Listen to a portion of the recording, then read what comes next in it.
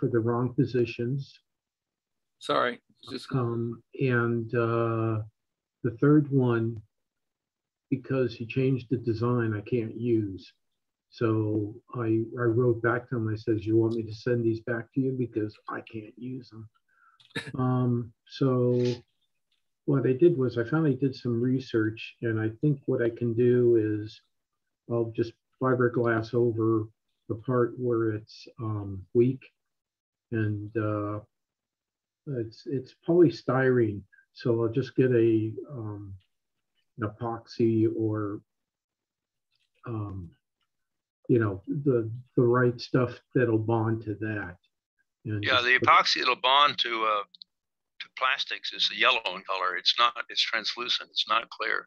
Yeah, but uh, now that I know what the plastic is, I can I can go to like 3M and you know ask them, okay, it's this, it's um, ultra ultra high molecular weight uh, plastic, and to say, you know, um, I I need to know what what chemical numbers, you know, what to buy, and just You're gluing to polyurethane, polyethylene. yeah, um, polystyrene, what? Oh, polystyrene. Yeah. okay, polyethylene is a wax. That's virtually impossible to glue No. to. It, is it? uh, it's a gap that you have to uh, strengthen, or or is it? it's a curve. Think of Uh, a think of a torus that's been cut in half, slice, you know, Right. bagel. You slice a Yeah. bagel. Okay, so I need to go put fiberglass over the entire bagel uh, to make it stronger so that it doesn't um, bend too much when it goes over the wheels. Because when it goes over the wheels, it flexes and Oh, all um, it cracks. So if I make it strong, it won't bend. So you're going to fiberglass it? Yeah. I'll fiberglass it on the outside.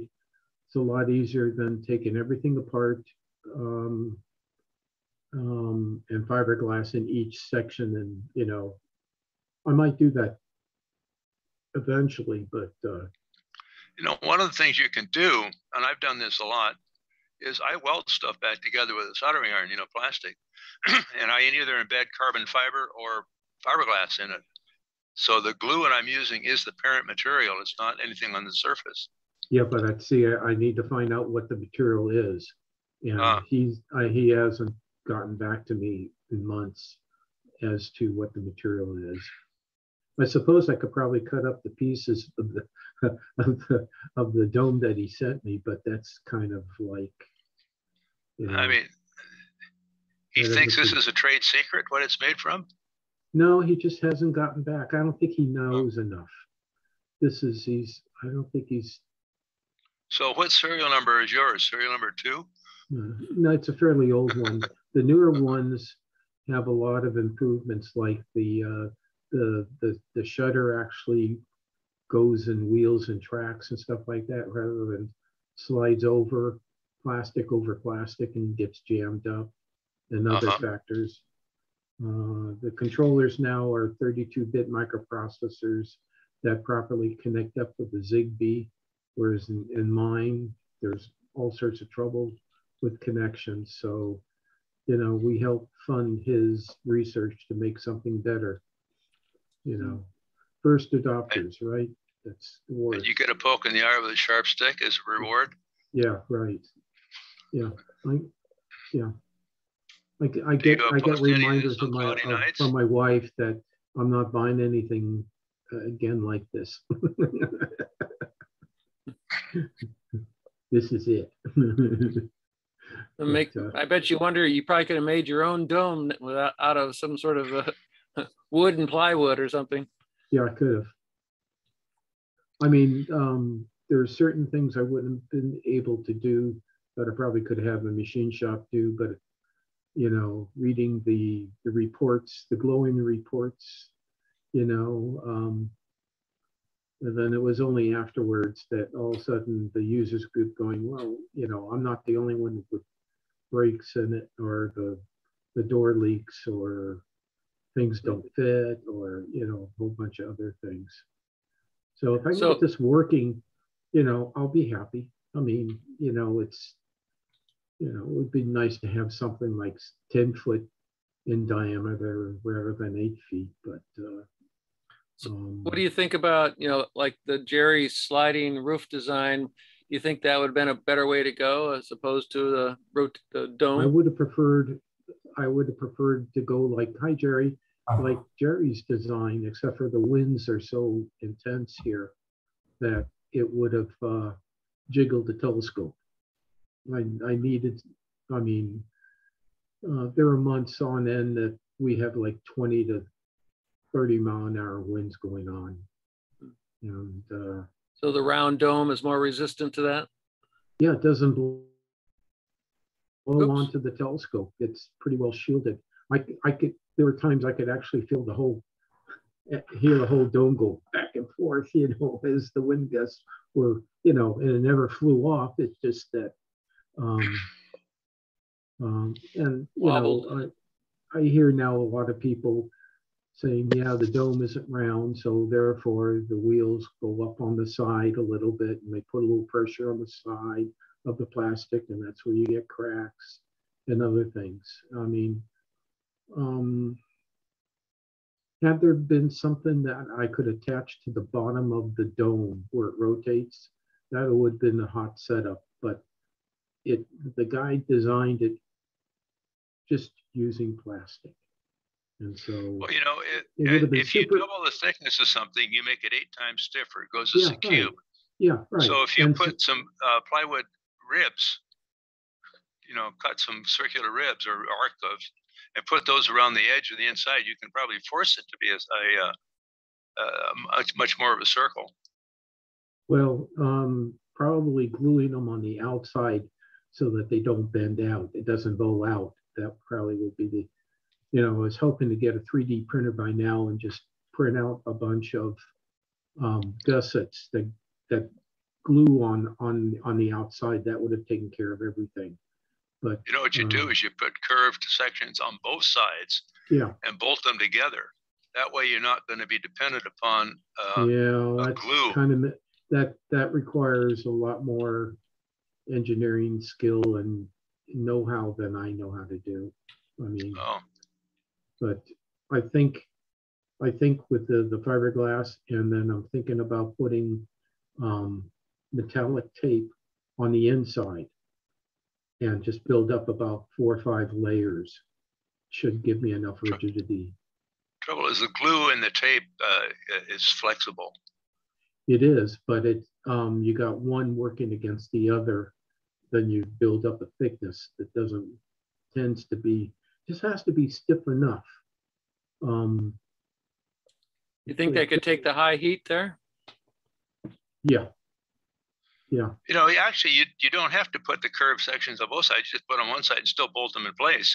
yeah, Go bend some out of oak. You know, you steam them and bend them so they're round, and then yeah.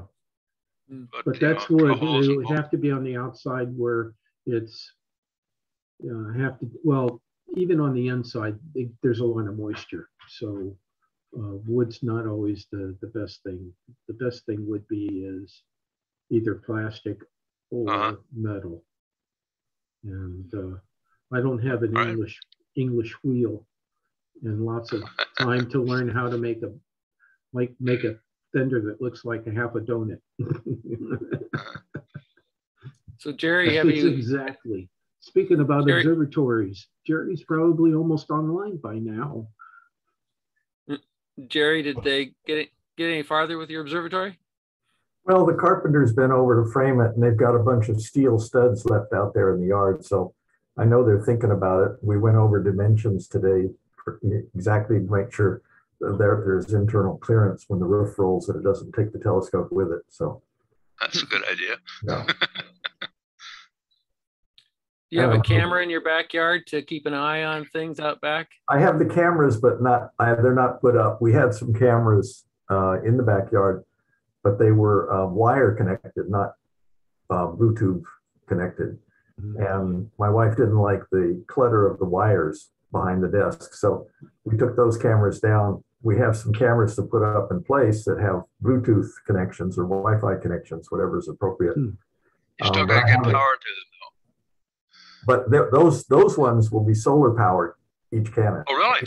So they Even have a at battery in the, in the camera, Okay. and they'll run for about. Um, they said it will run for nine days if there's no sun. The battery lasts for nine days. What So, that? uh, and so they, they, we have one of those cameras out in the front and it works great. And we got three more to put in the back. So I'm going to do that. I didn't put them up because there was so much dust and crap in the air the, because of what they generated for cutting the stone and grinding things. So now that that's, we're coming to an end, I'm going to start putting those cameras up. So then, yes, we will have that. One thing that I've noticed with my cameras, I've got, I think, six of them. And um, are spiders, spider webs. Yes. They're, I they're have warm. one. When I look at it, all I see is this spread eagle spider on the limbs. And I, I wipe his web off, and then later it's back, and he's back, or she, or whatever it is. Windshield wiper. Yeah, but little teeny. By the way, the wire cameras, um, I'm getting rid of those. If any of you want them, um, You know what brand they were? um, I don't recall. There's some market brand from China or, or Japan or something. So they're Isuzu or something like that. I might be interested. I have one where the half the LEDs have uh, gone out in them. Oh, Or mine have just two connections. They've got a pin and sleeve connector for the 12 volts, mhm. and then a uh, RCA pin connector for the audio, video. yeah. Yeah, we, each one of these cameras has two connections, has the, Okay. the wire and the, and the data for power and data. And it has a, it has its own computer with it and it has a, a play screen, you know, a video monitor and a mouse. So it has a Yeah, dedicated. so does system. mine. I got two mice on my desk. You want to- You need a cat. So if you know anyone that's looking for some cameras like that, let me know. I promise my wife. do. I'll take a couple. Okay, you're right. Yeah, So- I had a guy arrested for prowling uh, uh, based upon the images that my camera took. What was he in your yard? Uh, it's a long story, but uh, at five minutes to two in the morning, I was downstairs watching TV, which is not unusual for me. And my doorbell rings. And uh, I actually can just push one button on the TV remote and see the uh, cameras on my big screen TV. But I, I got up to go to the door. And I wouldn't have done that. uh, I know. Well, I was told by the cops I shouldn't have. Anyway, uh, so I put my foot back at the door and, and open it a little bit. And here's a guy standing on the half wall of my front patio.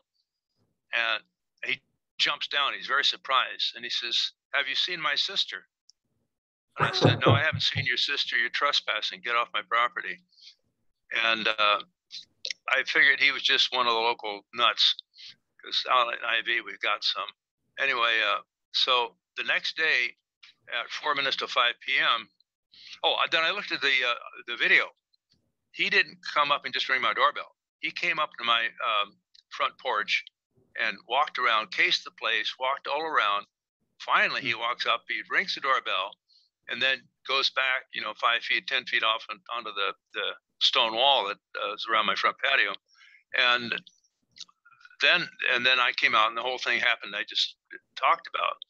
Well, then the next day, uh, um, he comes up and he walks up my driveway with his finger out and he rings up and he rings the doorbell. Well, I came over the intercom then and I said, uh, "Can I help you?" And he was incoherent. He either said, "You're in my house" or "Get out of my house." then he walked. Well, yeah, and, and my house faces south. He walks due east over a four foot uh, cement retaining wall to my neighbor's property, walks around the black BMW that's there and tries all the doors. They were all locked. Then finally disappears out. Well, I uh, that time I called 911 because that's what they told me to do, and uh, they they, uh, they took the report. So then I put a neighborhood flyer out of uh, the two pic the pictures of the guy and what had happened and passed passed it around in the whole neighborhood. You know, we have a prowler. And a lot of people said, "Oh my God, that guy's been in my house." In fact, there was some girls on the next street over. Uh, I was talking to two of them, and the third one comes up, and she looks at my flyer, and that's she says, "Oh my God, oh my God, you see that shawl over there? That's the one he's wearing in your picture." On the basis of my doing the legwork for the cops, they arrested him, Hmm. but he was so uh, drugged up and nutty that uh, he couldn't go to. They couldn't uh, take him to court. They had to get him, you know, uh, cleaned up.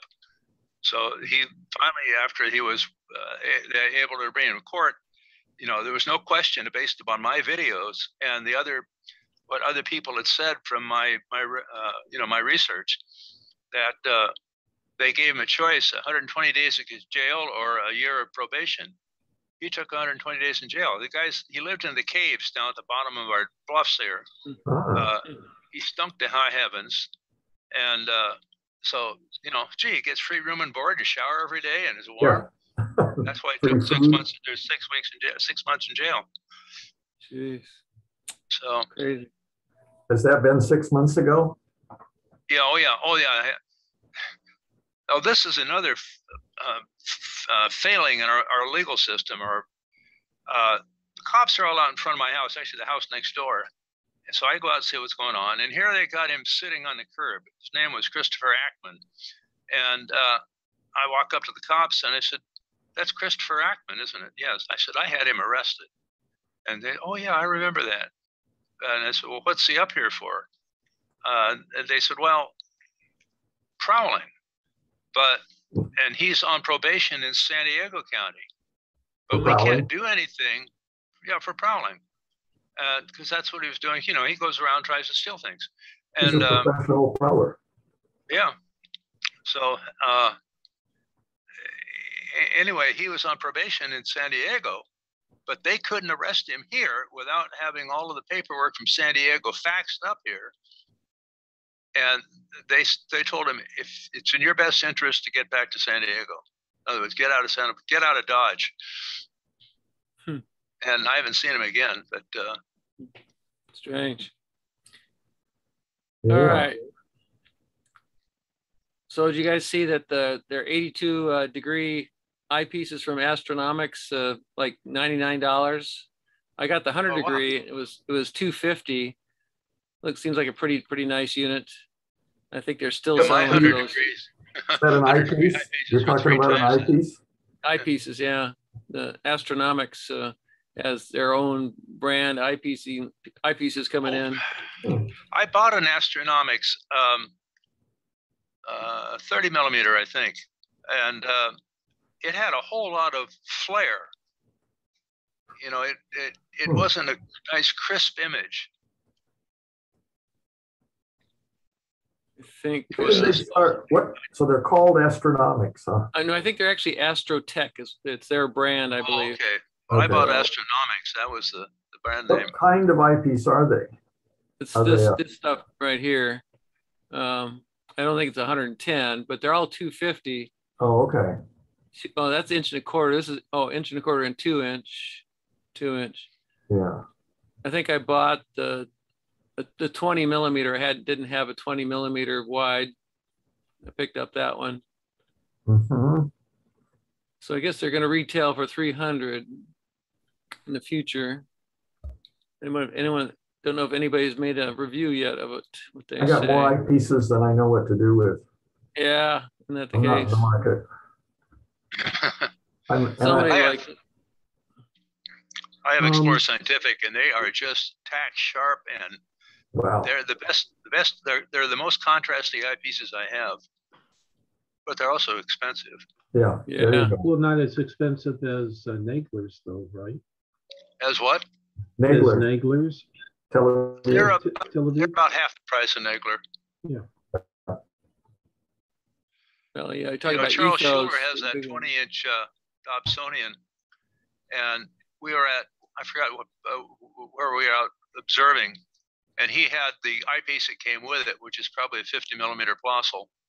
And uh, I let him use my 100, my um, 20 millimeter 100 degree field of view Explorer Scientific. And he was blown away. He just was oohing, and awing, and he went out and bought one. In fact, he's bought, he has the five, the nine, the nine is 120 degree field of view. Um, the 20 millimeter I have, and I Oh. forgot which other. He went whole hog on on Explorer Scientific. Mhm. They make really good eyepieces. I'm waiting Look- until look they come out with a 180 degree field of view. well, you're going to see the the, opt, the aperture on the front of your scope. But look at the prices of these things. Oh, yeah. It's, it's eight hundred dollars for a hundred degree from Explorer Oh yeah, oh yeah, oh yeah, yeah. They're not cheap. I think they've gone up in price. Um, Yeah, they definitely have. Yeah, um, Look, look at the nine millimeter. That was, I think, I paid about twelve hundred dollars for that. Wow. well, this is nine. This is a hundred degree Nine, nine. millimeter, 120 degree field of view. Oh, the hundred and twenty. That's a different one. Yeah. I don't know if they produce that anymore. Let's see. It's go to explore. Yeah, they got one twenty. Let's see what it Who's says. this now? This this is is this Explorer Scientific? Yeah. It's a twelve. Okay. Yeah, $1,300. thirteen hundred dollars. Yeah. What? What? did- What did you pay for it, Bruce? Uh, about that, I forgot exactly. Oh, it was pretty expensive. Wow. Pretty amazing. But Wow. it's you just fall into the night sky, no matter you know. The, Yeah. you but they're oh, I bought I have their 92 degree 17 millimeter. That's got 20 millimeters of eye relief, relief, and that people that wear glasses can use that. All these others have like 12 millimeters of eye relief, and if you try to look at through them with glasses, it's like looking through a straw. Oh, Not the Tele Vue makes a Radian eyepiece, I think it's called, that's for, has very high re- eye relief for glasses. Uh. And I, I have their 25 millimeter in that, and that's my standard, about 25 millimeters. Um, What that's is the uh, field of view? like, it's, uh, it's not, it's somewhere around 80 degrees. Yeah, You're th- talking th- about- you know, you can't you can't vote on the laws of physics, unfortunately. You can't Jerry, are you wear, talking about the maybe the, Vote the on the lights? laws of physics. oh, no, You know, if you want eye relief, you can't have the wide field of demos. view. It just yeah. One of these had a good eye relief. Tele Vue. I think the Delos have it. Delos is the one. Yeah. Well, that's the one I use for, on my Tele Vue five inch refractor for outreach because it's so easy for people to find the image and get to the eyepiece with glasses or without. Let's see. well, I think that's why Chuck puts his images up on his TV set Yeah, Yeah. because his vision, he's got such bad astigmatism. That's quoting him that Look he can't the, look uh, through a telescope eyepiece without, you know, normally with people, I'll, I'll I say, yeah, here, here's the focus. Go ahead and Mm. focus it for your eyes. Mhm. But uh, that doesn't work for him. His astigmatism just is in the way. And here it shows 20, 20 millimeters of eye relief on this 14 millimeter Delos. yeah. That's not the one I have. Go to the, uh, go to Radian, see if you can find the Tele Vue Radiant. I think that's the one I have. What's that? They got eyepieces and then Tele Vue. I don't see Radian listed here. Maybe they quit making them. Yeah. How about that? Yeah. Is that no, a not that. inch and a quarter eyepiece? No, it's a two inch. Okay. No, the ones that he just had up there. Oh, I don't know about that. It, It it looked- was, I mean, uh, the, the barrel on the back. Yeah. That's inch and a quarter for a 14 Yeah. millimeter. Yeah. I just saw that what looked like 50 cent piece there. It's a quarter. Oh. Yeah. Quarter. Yeah, there's your Radian eyepiece for Tele Vue. Chuck's I Hawks. was curious on my uh, um, nine millimeter Oh, eyepiece, yeah. 120 degree field of view. Uh, it's a two inch eyepiece, but the uh, first ring in there, what am I calling the, the field ring? It's only it's like an inch, it's an inch in diameter. It's nowhere near two two inches. Eye relief, yeah, 20 millimeter eye relief on the Radian. Uh, the, uh, if you went back there, uh, Oh wow, look at that. Yeah. Yeah. No, I have a 27 millimeter radian. Looks like they don't. But see, look that. at the apparent field of view. It's only 60 degrees. Yeah, that's right. It's not a, Y- it- y- it's There's a trade-off. You can't have both. Right. Well, the, uh, the other ones that we were shown, uh, the new ones do have that. Yeah, this is 70, 72 degree Delos. Yeah, 72, 20 millimeters. So that's probably one of the reasons why also another uh, on on the uh, previous page there before you clicked on it, uh, they said that there was a price spike in the type of glass they needed for those uh, Radian eyepieces. Oh, you saw it on here somewhere. huh? No, on the previous page to that, on just go back. Oh, here. Okay, why did Tele Vue stop making Radians? Oh, yeah, price spike. What is lanthanum? What is that? Uh, It's a Could glass. you, could you make that bigger? Let, yeah, Yeah. lan, lanthanum. It's an element, a rare earth element. Right. It is. Okay. Yeah.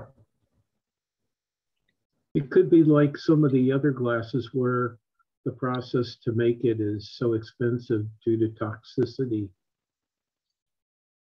Either that or they didn't get, the, the volume was too low.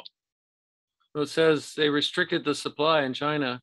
Yeah, Oh, okay. Oh, there you go.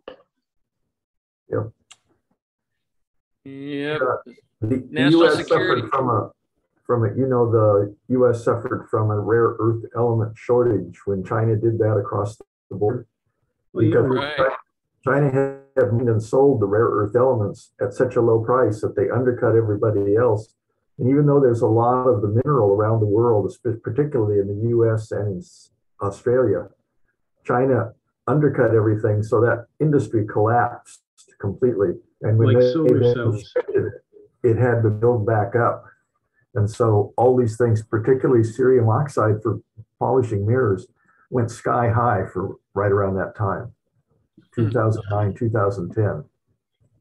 if you take a look at some of those prices, uh, um, when you were look for, for the Dobsonian telescopes, they're going up in price too, if you notice.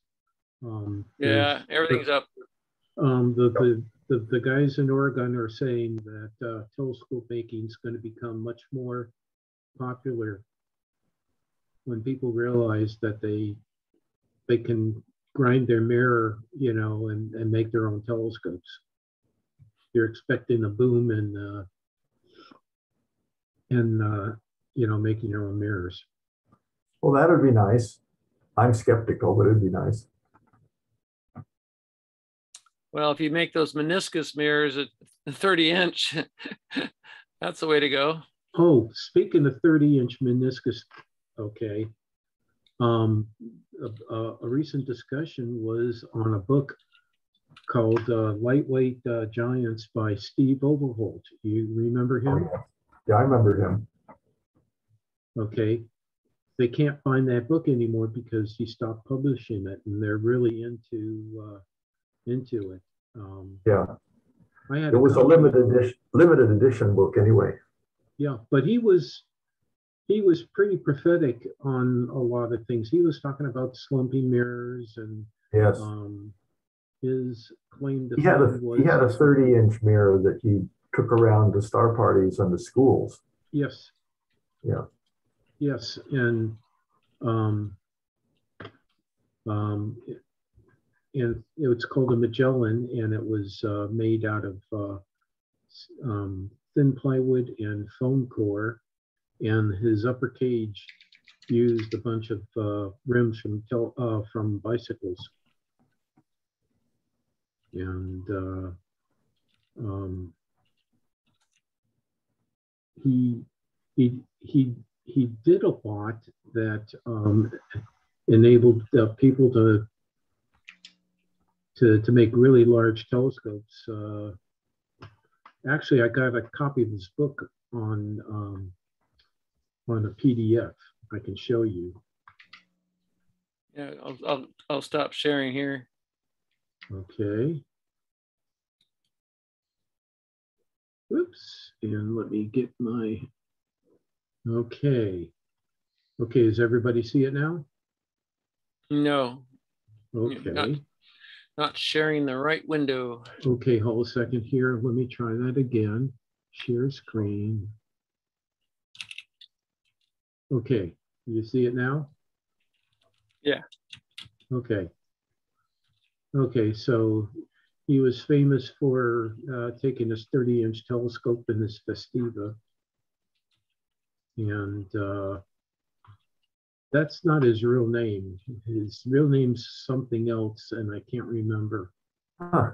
And so this was limited. This was all books or something like that. This was his own self published thing. And so one of the things he goes into um, is the he, he did did an actually pretty good job of talking about the evolution of the um, Dobsonian telescope from tube to truss. And at this time, um, he talks about the guy who eventually became um, obsession with his telescope. So, um, and right down there um, on the lower right, he shows how he made his upper cage, which was a bicycle wheel, some aluminum flashing, and um, embroidery hoop. And so uh, uh, the guy was pretty pretty good. Uh, he he took he took off weight where, where he could, like this thing with the Milky Way bar. That's his focuser and his eyepiece. Basically, he took um, a wide angle 65 degree eyepiece and took all the guts out and put it in something else and took something out of an old camera for his focuser for helical focuser and uh, um, did did things but um, there's there's a view over here um, of, of the focuser and uh, he was a big proponent of uh, using the optics out of a binocular for a finder. Yeah. So, Yeah.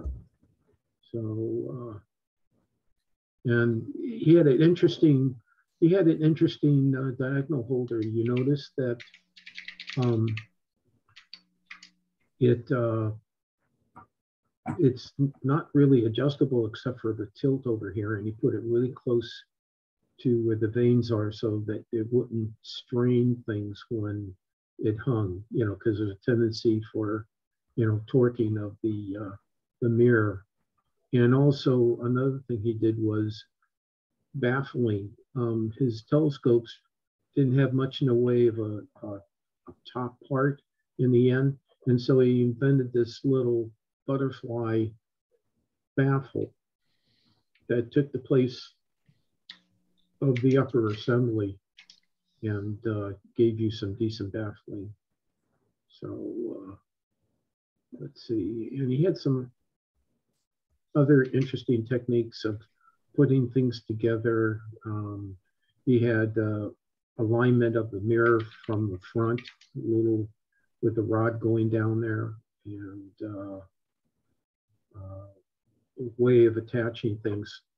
Uh, on the right there shows the butterfly and um, uh, baffling for uh, another version. Did you ever look through any of his scopes? It was okay. Um, I looked through the tells his 30 inch when he first got it. There was some things that he was working out. It wasn't particularly sturdy. There was some flexibility issues, but knowing him, he probably worked them out. But uh, yeah, so here's the technique that he did for making his uh, his parts uh, where you Rocker. cut out the cut out the um, the thin quarter inch or eighth inch plywood and then you glued it together and he talked about how you could more accurately cut this you don't use a knife you use a, a coping saw of all things. He says he got very good uh, uh, good results. It was pretty smooth. Um, and also he came up with a glass board instead of formica for his bearings. So, um, so, so some of it's kind of reminiscent of what I did for my telescope. Oh, uh, here's the, the mirror uh, frame where it's basically some aluminum and he's got the teeter totters for the uh, uh, for the telescope mirror. In this case, he actually uh, attached triangles to each end of the teeter totters to give them uh, a nine point flotation because his mirror was uh, very, very small. So there's his Magellan right there and his Festiva. And I think one of the things that he thought out better than I did was um, lugging the mirror around. It was in its own sealed case. I know that in the case of my 14 and a half inch, there's some small scratches on it just because, you know, even though I was trying to be very careful about handling it, you, you, you can get things scratched. So everything. One year I was, one year I was down at the Riverside Telescope Makers um, convention in Lake Arrowhead. And Steve was there and he won an award with his telescope for having the largest telescope uh, transported in the smallest car. It's sort of like um, like the Cave Award for the best dressed uh, person on the uh, on the field. Yeah. Yeah, so there he shows how to, you know, do do the sandwich things, and I would imagine that technique, you know, the type of construction is just as valid today as it was back then. You know, um, used styrene um, foam and uh, skins and uh, put material in, in the right places. So uh, What, what is a door skin? What's a door skin? yeah, it could have been door skin or eighth inch um, Oh, yeah, doors. hardwood plywood. Okay. Uh, three uh, ply, eighth inch thick plywood made out of hardwood. Uh, So that it was, you know, the parts were pretty, pretty small and you went into, this is how you make it. This is the materials you get. And uh, so he says something to the fact that, well, you might as well go get your mirror because you probably won't be able to make it.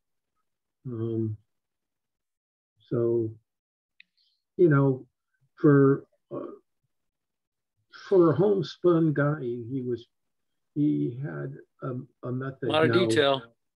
a lot of details, some of it, you know, from other people that are more knowledgeable in telescope making said, well, there, there was uh, some issues with the way that he built things, but he had the right idea, you know, in a way, you know, some of the execution. So, uh, so this book is, is pretty rare. So, but it, it, it kind of makes sense. And, you know, um, if I were to rebuild my 14 and a half inch, I probably would do something like that. Uh, certainly, thin plywood and foam is probably a bit cheaper than doubling or tripling up on uh, nice uh, plywood at the prices that we're seeing now. And um, uh, so, uh, yeah. I, I, I think when you're looking at the top left there, um, um, the the uh, the upper part, I probably still would keep it the way that I made mine, which is out of data board. That seems to be. Are you sharing? Oh, there you go. No, I just put that on. This is on Amazon. They list the book, but it's not available. That's Yeah. right. So Mike, you could advertise it for five hundred dollars probably. If I had the book, but I don't have the hard copy. Oh, well, that's true. So it was originally, it was, it says Well, if you guys go to the Simi Valley Library, you might be able to pick up the copy that I kind of dropped off Uh, when I downsized. yeah. Astromart found.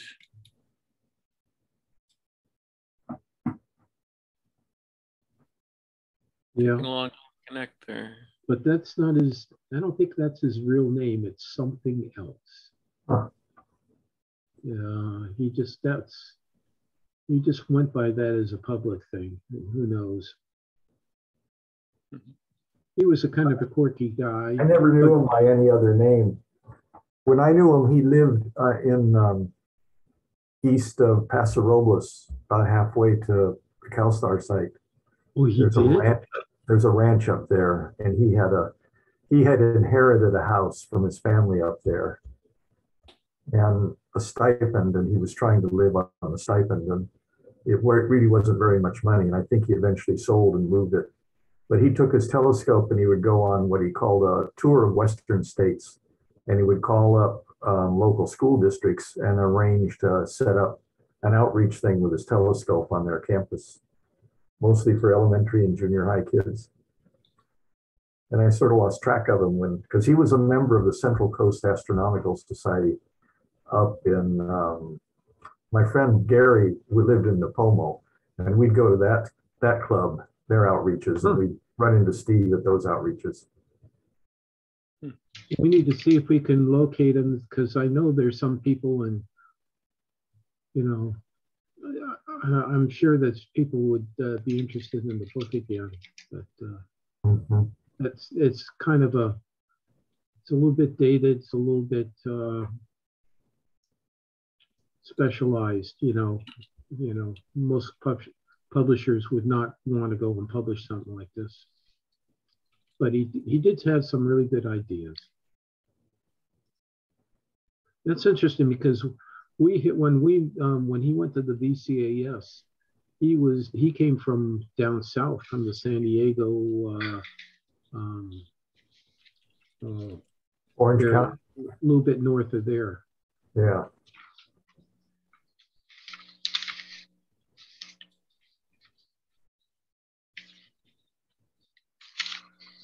But uh, you know, if things get tighter, you know, inflation happens. You know, it, it might be uh, you know uh, having some old glass on hand uh, might Yeah. not be a bad thing, especially if you can make a mirror or two.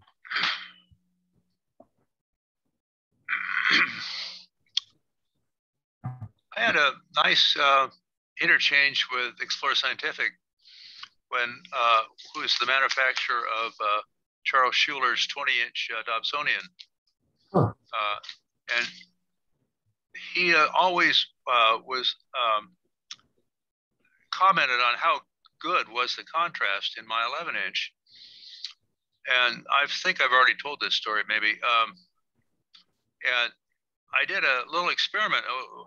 one of our last outings, I pulled the uh, dew shield off the front of mine, and the contrast got you know way went way way, way down.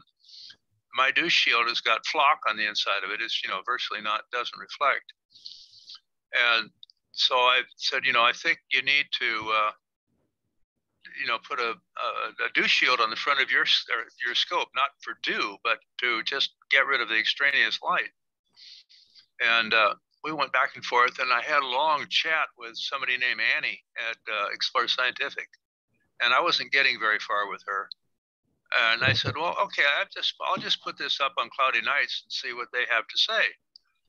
I got a call from Scott Roberts, who is the uh, president and owner of Scientific of Explore Scientific, and uh, very very informative. He talks about baffles and putting the baffles down the barrel, and I still think something out in front is going to be better. But uh, Yeah, I'm, with- I'm so in your Charles camp. is looking into that. Pardon? I'm in your camp. Yeah. You know, we can buy. He's in fact Charles is. He, we went to Home Depot, he and I, and uh, we're looking at various materials that, out of which we could make a front, a lightweight front uh, extension for his uh, scope. And uh, Tyvek makes a board uh, that's used rather than just the uh, uh, film that they sell.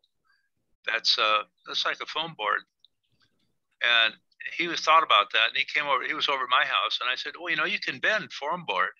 So I took. I have some quarter-inch foam board that I bought from uh, one of the art supply places for use making uh, posters. And uh, I took my heat gun and heat up one side of it, and if you're careful, you do, you can bend it. You can make it round. So that's what he was going to go do. I did that for my 11 inch in my observatory. ah, It does work pretty well and it's very light. yeah, How thick is the foam board? quarter inch, Yeah, Quarter. something like that. Okay, yeah. Yeah, it's it's it's it's the stuff that kids use for uh, you know show and tell at science fairs and stuff like that. How do you hook it to the front of your tube? Actually, what I did, I made Velcro. it. ju- Velcro? Mine was just barely. It, mine's a slip fit in the front of the corrector plate. It stays What I've there. done on the uh, dew shields that I've made for my eight inch and my five inch is that uh, you you uh, you, you uh, the the joint the seam is Velcro, so you bring it around and it sticks to itself, and then where it goes around the telescope tube, uh, I uh, use um, again some Velcro, and then I bought the uh, elastic band or whatever you call it, you know, stretchy stuff that uh, you can buy at uh, like Michaels. One inch wide elastic uh, stretchy stuff. And i just glued that to one side of the, the tube and then i put a little patch of velcro up probably 120 degrees around from that and i pulled it up and I, I put it on there so it holds itself tight you know it, it's it's self-adapting Yeah, mine, uh, mine's just a slip that I, I got it such that it was just exactly the right fit. Of course, I don't have to deal with too much wind because it's inside the dome. You're But- lucky there have been times that i've taken off the uh, dew shield because the it's it's too big of a sail your image just keeps moving around Yeah. Well, one of the things that, that Steve Overholt uh, talked about was that butterfly um, baffle, because when you think about it, you can make it rather large and it won't matter too much in the way of diffraction because it's right where, you know, it's right where the uh, um, the vanes are for the diagonal holder, so it doesn't add much. And you could, you know, make it six inches or a foot high or low, and it you won't see anything. So, uh, It didn't Um, block that much light coming through the telescope?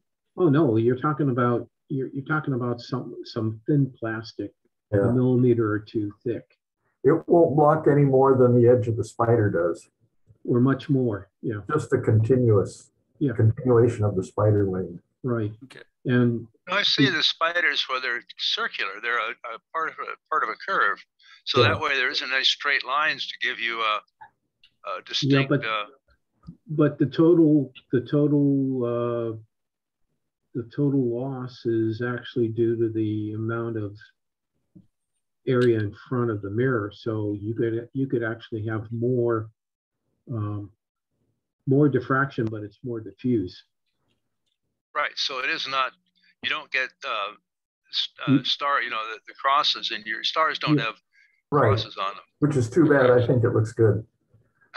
But also, if you're a, a really hardcore planetary observer and you use a Newtonian, um, you want to stay away from circular spiders because they take the diffraction, they produce a diffraction too, just like the straight ones do, but they spread that diffraction pattern out over the whole field of view. So they slightly Right. lower the contrast everywhere in the field of view. If you have the straight ones, then, and you put your object in the pie shape between the diffraction patterns for the straight ones, you'll actually get a higher contrast region that you can use to look at fine planetary details. Now, my eyes are not sufficient and never have been that I could discern that amount of detail and things and be critical of the two types of spiders. But I've talked to people that are very adamant that they can see more if they use the Newtonian with the straight bars in them. well the, the, the best way is to put a window in front yeah, your shred diagonal. Cassegrain, and then you don't have any Right, spider. that's true. well not a Cassegrain and Newtonian because a Cassegrain implies a larger uh, secondary Yeah, Yeah, but with a Newtonian, you still have to you have to support that secondary mirror. You drill a hole and stick it in the Of course, center of on the the window. window. Oh, I see. Yeah, of course, of course. Yeah. And it also keeps your mirror clean, your main main mirror. yeah, but the window gets dirty, so you got, Yeah, I bet you can clean the window a lot easier than you clean Yeah. your mirror. I'm not sure if uh, you have to really have much of a anti-reflection coating on the uh, on that uh, on on the window. It, it it's probably in the mud. Probably. What do you think, Jerry? you use, you lose, um, every glass surface you pass through, if it's not a coated surface, you lose five percent of the light. So But, you code it, you can get that down, down to a fraction of one. but I'm talking about contrast. Yeah, contrast is Same not gonna have any effect. It's just gonna lower the brightness slightly. Yeah. So Well, no, I you have get it, uh, multiple reflections off the two surfaces of the glass. It tends If to you do it badly, adjust the yeah, contrast. yeah. Pardon? If you do it badly, yes. so one of my projects in the future is to make like a F8 or F6 eight inch Newtonian because I have um, an optical window that was part of a, a Cassegrain uh, uh, camera for tracking for Point Mugu where it they they used um, Novak stuff uh, for the for the primary and the secondary um, they they basically took a Newtonian and put the diagonal really close so it just went out the back. In other words, had they just done it out, they didn't want to put they didn't want to put the camera to the side. They wanted to put it out the back end of the telescope, probably because the, camera was too heavy. And so I've got that optical window. So all I need to do is get the reflection, uh, the, the mirror part off and just, you know, So the The secondary, the secondary was a flat mirror then? Yeah, it was just a flat mirror. It was, Yeah, that's, that's called a folded Newtonian. it was like 30 or 40% of the area of the, of the window. And it goes back out a hole in the primary. Yeah. Yeah, that's a folded Newtonian. Yeah. I think what's it called a Nasmyth mounting, where it actually goes out through the the uh, The side, declination axis of the scope. yeah, So your eyepiece is always in the same place. yeah. It's roughly the idea, similar idea to a Dobsonian, because the Dobsonian, the eyepiece is always, you look straight in, just at different heights. It's always at the wrong height. Oh, That's why you put half steps on your ladder. So you can get your eye right, you know, yeah, at the right place. So no, no one's buying my uh, solar, extra solar telescope I have. At the, the uh, sun spotter. is that it? Yeah. It's re- Yeah. pretty clever the way this is, they fold this Oh, up. okay. Oh, yeah, Oh, yeah. Yeah, I remember you when you bought that. I It bought projects an them, but- image on that ground glass in the back. It, no, it, it actually puts, you just put a, a sheet of uh, good paper on the bottom here. Oh, I see. uh, Okay, okay. It has clips to hold the paper in place. You have little circles so you can get this, it helps get the sun's image in the right spot. Uh, it's got a focusing, uh, threaded focuser right here that you move up and down. And even the front uh, opening, evidently you can move it. I've never been able to move it. It can move in and out a little bit. And so, it, So it the actually light comes- uses a lens and not a pinhole? yeah, right. so co- co- comes in, hits this guy, hits this guy, hits this guy, and comes down Yeah. and, and projects the image down here. Neat. And this is, and you It's a folded refractor. your little little uh, sunspots you can see. It's it's you know it's it's pretty primitive in a way, but it's it's pretty pretty clever too. But it's you know I- it you know a kid would uh, get a lot of pleasure out of that, or or uh, somebody who acts like a kid. Actually, a retired uh, teacher uh, gave me one uh, when I moved up here. She had two, and she gave me one. Yeah, I mean they're they're selling for four seventy five at the Astronomical Society of the Pacific. It's like, holy smokes! But I found a good deal, but I'm advertising for three hundred. Although I'd sell it to somebody else for in a club or somebody knew me for 175, but uh, due to the shipping costs, that they, you know, UPS shipping is not cheap anymore. I noticed that, yes. Gas prices and uh, more benefits. Anyway, it's I've put it on Craigslist, but don't haven't got any real responses yet. I'm surprised. I think somebody would try to hit me up on it. It's a, it's a great little toy for some get Yeah. some kid. You know, look at the sun without looking at the sun, and all the sunspots that are going to be coming up nowadays with the increase in sunspots, is a perfect time to have one. Mhm. Let me know if you want to convince anybody to buy something like this for me. Okay, I like the neutral density five filter on the front of my big scope. yeah, a little sharper. But that's too big. It's neat the way they made the triangle because you it's got a little lock uh, to hold it in place. You can lift it with a handle on top. Pretty Mhm. clever. So, Mike, you still have yours or not? Yeah, Okay. I've got it in its original shipping container. Every so often I, I took it out Safely stored away in your garage forever, huh? of the, the shed. That's the, that's getting packed full of stuff. I, I, I need to, uh, I, I, I need to disassemble the 14 and a half inch, uh, star tester and thinking about making something much more breakdownable, you know. Mike, do you have a garage at your house? Yeah, I do, Okay. Okay. but it's got stuff in it. Cars? uh, a car and a uh, and a golf cart. Yeah. Yeah, the Yukon's outside. The paint job's getting kind of flaky. Um, I, I- have it- it's a good thing because that gives me enough room to do my uh, polishing and testing inside the garage, where it's relatively Hmm. stable.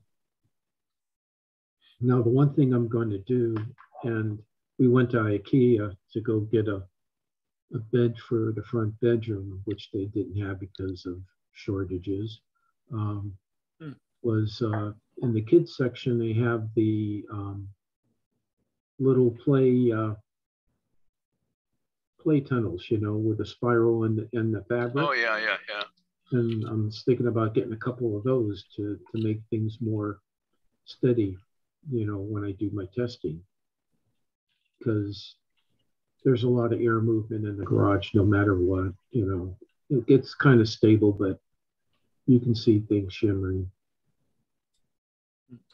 Definitely would help out on the uh, Because there are vents in the garage, so you get What? some wind or, yeah, there's vents and, and also Yeah. wind gets in because the wind gusts get through the door, right? Underneath and around. So it would be, would be, be nice that they, they weren't expensive. They're like 15, 20 bucks a piece. All I need is a couple. did you get new, new earphones?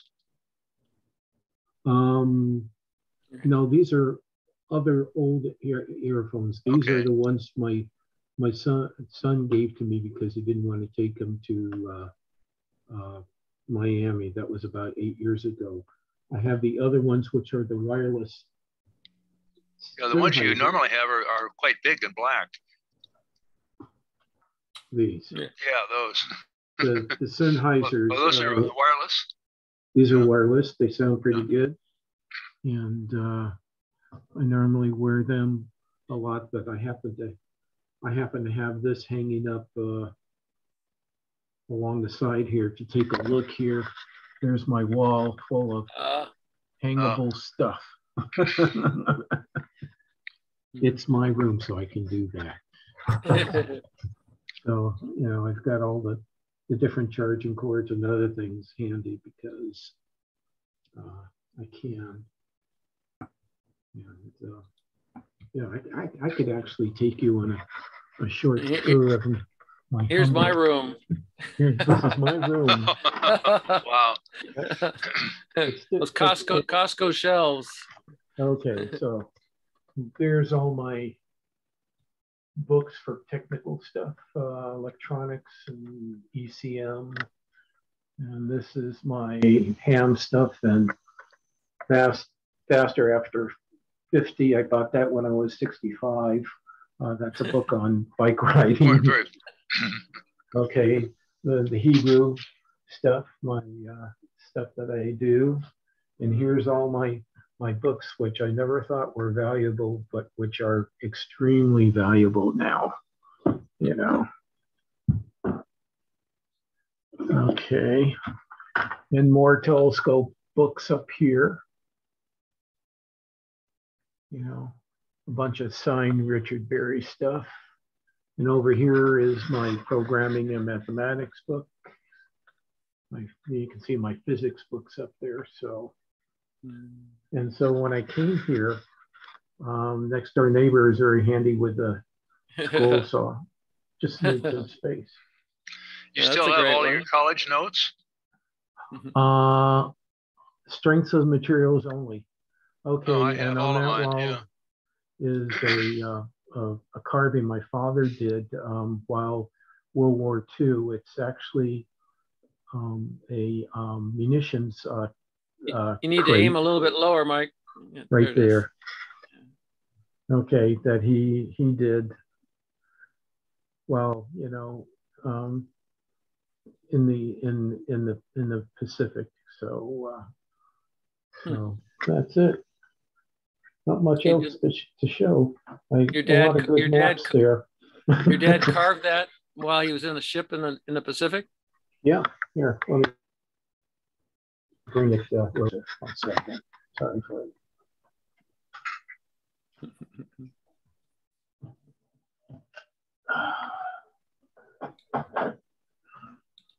And that's why I use galaxies in my background.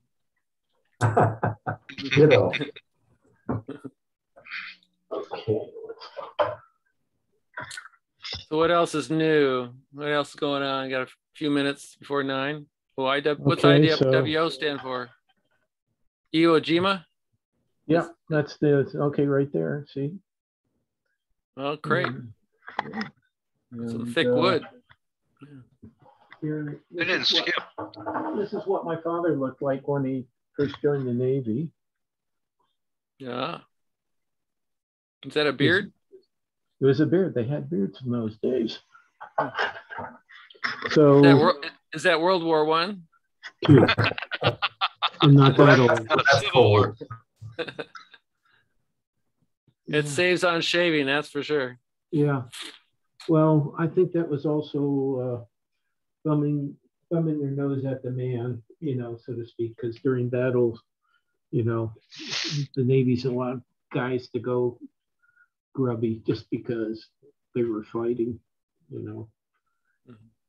Let's see what's happening. Um, I'm going to try and uh, I'm, I'm thinking about uh, stripping the coating off the 14 and a half inch mirror and uh, working on it again. And Jerry, you said uh, a little bit of Drano will do it.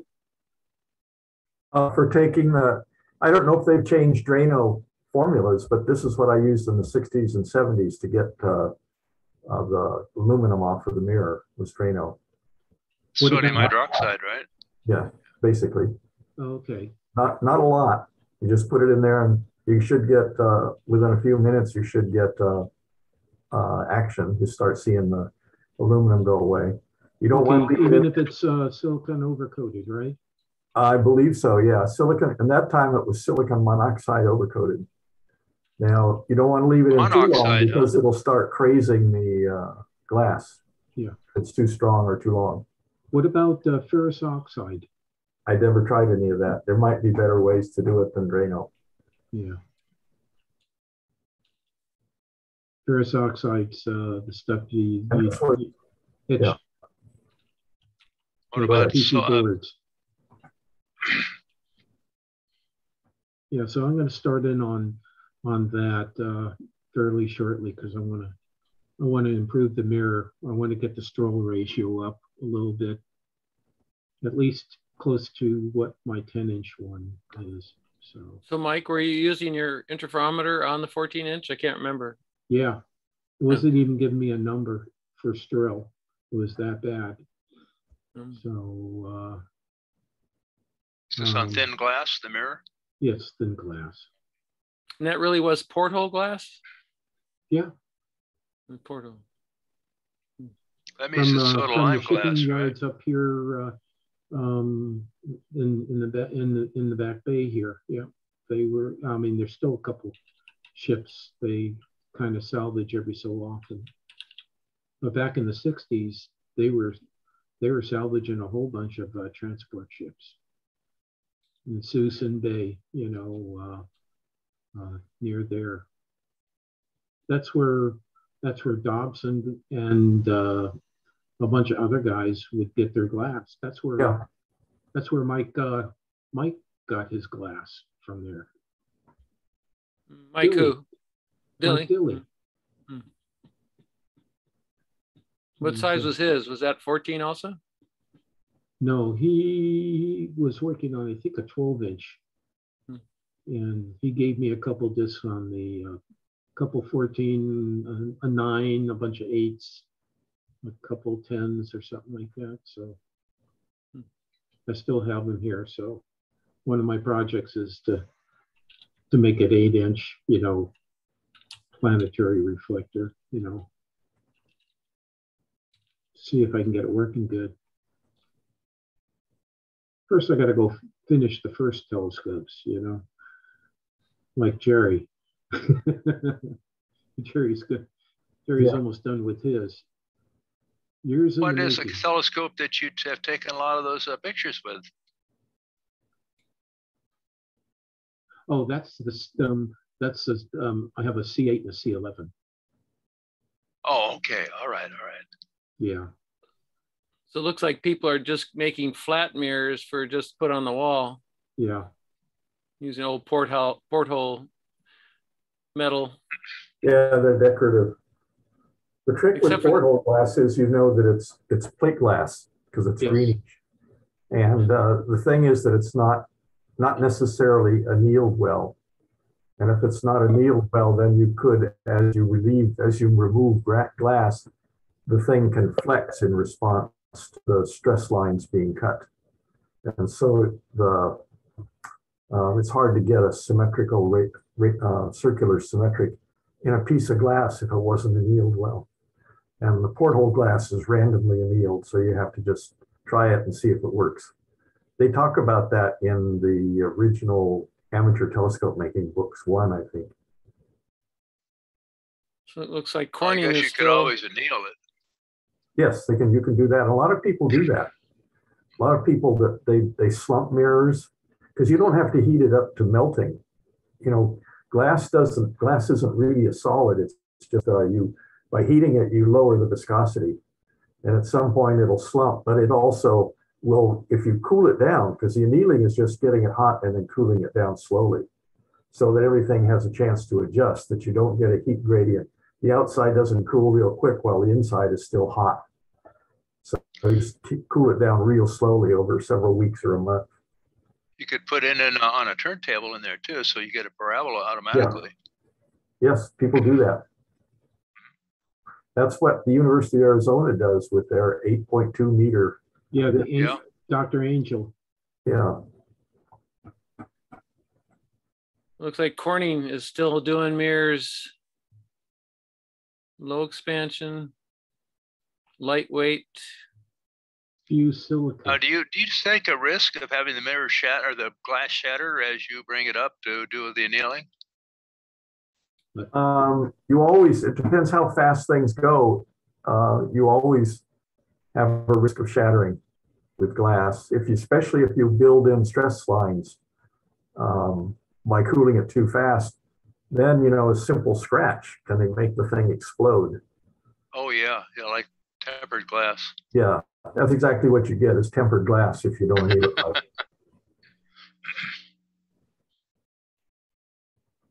So where do, where where does one get inexpensive uh, glass blanks for uh, telescopes nowadays?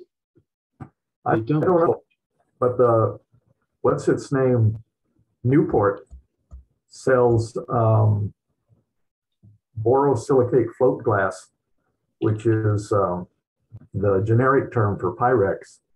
And they do an extra annealing on it to make sure that it's annealed. So it's it's doubly annealed or fine annealed, as they call it. And that's where I got my 18 inch and my 14 and a half inch blank. Now, how plain are the surfaces? They're they're roughly plain, just molded. You have to start hogging it out, or you can Okay. you can give them extra money and they'll find they'll grind it, you know, rough it out to a close to a certain shape, if you pay an extra hundred bucks or something. But you still have to do the rough grinding on it because they, they usually curve it to two hundred grit. But the grit has a, uh, or the mirror has actually a point, little volcano shaped thing in this, in the center. And so you have to grind that off with the the grit that they use, two hundred, before you can start really working on the mirror shape. It saves, a it saves a lot of time in removing a lot of glass. Is that what you did? I, I, I paid to have it a certain shape preformed on it. I have, if on the ten inches, uh, I've done before, and the eight inch and the six inch, I start from just the cast blank and I do the hogging out as they put. You know, I start with sixty grit and just grind it like mad, you know, just hollow it out. It's a long time. It's probably the longest single stage in wire grinding. Actually, with, uh, with the fourteen inch, I did it mine pretty quickly. Um, because I, I took me about a, a week, uh, using, uh, I showed you the, um, diamond studded, uh, grinding wheel on a, on a, on a small, uh, weight. And, uh, did it pretty quickly. I think I lost some hearing as a result of the two because it really made a lot of noise.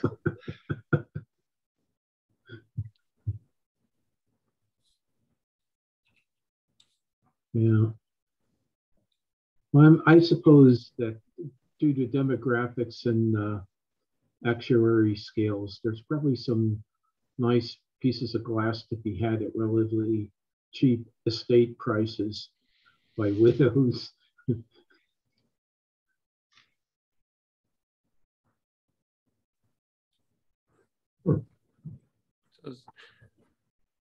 Huh. Or glass, in my view, is the most casual and difficult people to work with. They don't return calls. You sort of catch someone there. Or, or you don't.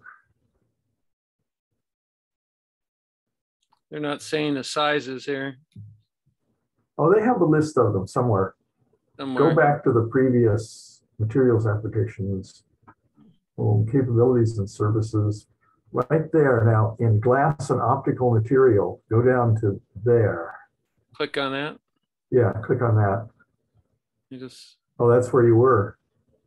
capabilities, serve home materials, Applications, look for applications. applications. Doesn't look like they linked anything here. Okay. Well, their casualness has spread to their website now.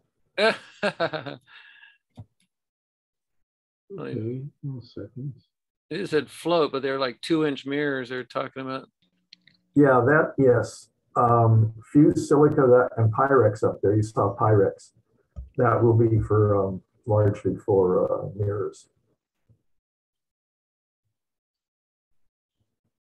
Mm, But float glass is in a big sheet. They, they car, Yeah. they machine out circles in it. Yeah, yep. Hmm.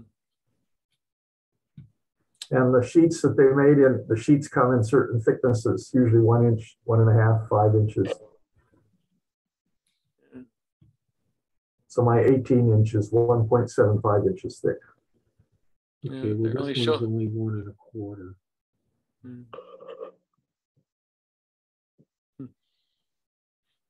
Okay, well, we've broken past nine o'clock. Should we call it quits?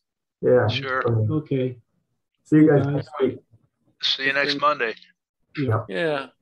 I don't know if we can, how we can encourage more people to attend. It'd be nice, but we had a few fall out. I guess they're getting too uh, busy taking images. yeah. A windy day. I didn't get any takers on the uh, laser pointer business that I had looked into and was, you know, make parts for. Uh, I bought those uh, laser holders and lasers from eBay. Well, the lasers hasn't come yet, but the holders came. They came So I- quickly. They came Yeah. like a yeah. day or two days. Yeah. The lasers, I think, take a month, the, the way they show them. The middle of- middle of March. At most. Well, that's the thing I've noticed. You know, they say that it's going to be delivered two or three weeks out and they arrive in four days. Sometimes. yeah. But the You see the lasers didn't come that quick. All right, guys, we'll talk to you soon. See ya. Talk to you later. Bye now. Good night, Bye. all.